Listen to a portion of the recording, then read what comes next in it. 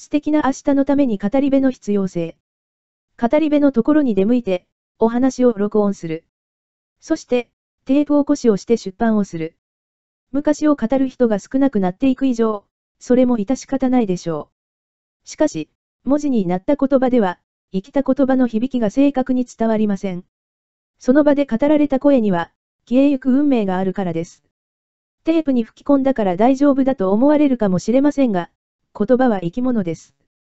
生きた言葉は、必然的にそこに存在しているのです。確かに、記録として残していくことも大事です。実際に語りを聞いて、それを後世に自分の言葉で伝えることをしないと、語り継ぐ命の灯火は消えてしまいます。昨今、テレビやビデオに頼って、子育てをしている親がいるようです。字が読めるのだから、絵本や童話を買い与えればいいんだという親も。上層教育には、絵本が有用だと聞けば、それに飛びつくのも当然です。しかし、大切なのは、子供が絵本の世界に入った時、その時親は何をしていたのかということです。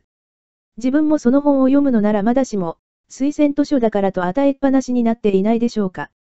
字が読めることが大事なのではなく、一緒にその時間を共有することが大切なのです。親の言葉の響きを感じ取って、子供は日々の安心を手に入れもするし、夢もまた見ることができるのです。昔話や民話には、生きるための知恵がいっぱい詰まっています。お話をたくさん知っていて、困ったという話はありません。有名なイソップ物語のイソップさんには、たくさんのお話を知っていたので、奴隷から解放されたという逸話があります。お話は、その人の人生を大きく左右することだってあるのです。お話を聞けるということは、語り部の語りのうまさに乗せられて、想像力をかき立てられるものです。そこに自分にしか描けない絵を描き、自分にしか撮れない映画を撮るのです。それが、子供が成長するにつれて、文学の小説や詩歌などを読むという力にもなります。読書の楽しさも知ることにもつながります。また、その言葉の豊かさが、自分の表現をサポートします。絵本を、子供が生まれてから読もうと思われているなら、胎児にも読んでください。胎児が最初に発達するのは、聴覚だと言われています。お母さんには、胎児にも読んであげることをお勧めします。そのことが、我が子への愛情も深めていくことにもなります。絵本を読んであげることは、子供のためだけではなく、自分自身が素晴らしい絵本やお話に出会えるチャンスでもあるのです。そして、その感動を伝える語り部になることも、とても素晴らしいことなのです。お話の中に、わらべ歌を入れると効果的です。リズムに乗って、次の展開に期待が膨らみます。言葉で綴る音の響きの中に、音楽の響きを編み込めば、より一層記憶が確かになります。もちろん、語り部の表情や身振り手振りも、子供たちに大きく影響をします。また、わらべ歌は身近な言葉で歌われて、覚えやすいというのも特徴です。心地よく聞こえて、覚えやすいのが特徴です。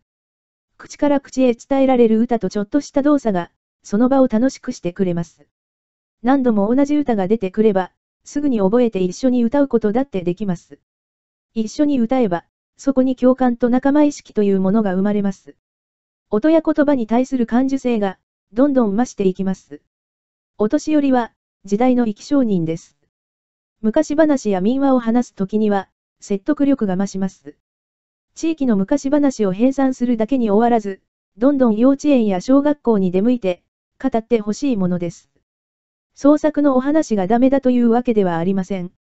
昔から語り継がれたものは、時代に磨かれて、語れば語るほどに光り輝いていくものです。創作のお話も、これから語り継がれて、その純粋さを残しながら受け入れられていくでしょう。大人の社会は、すぐ子供社会に反映します。子供の時に、お話を聞けなかった人は、今からでも遅くありません。たくさんのお話を覚えて、人に語れるくらいになりましょう。そのことが、お話のない子供社会の隙間を、外堀から埋めていくことになります。大人と子供が近づくきっかけになります。楽器や楽譜に頼ることなく、まずは喉にある声という楽器を奏でて、わらべ歌や昔話を語り継ぐことが大切です。さあ、お話の大海原に冒険に出かけましょう。不思議な出来事に出会いに行きましょう。気がついたら、小人たちに縛られていたっていいじゃないですか。